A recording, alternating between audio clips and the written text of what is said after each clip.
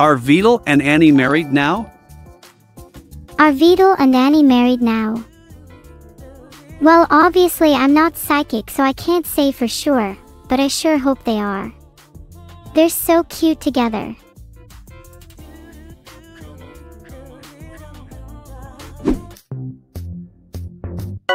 What did Vedal and Anny do last night? What did Vedal and Anny do last night?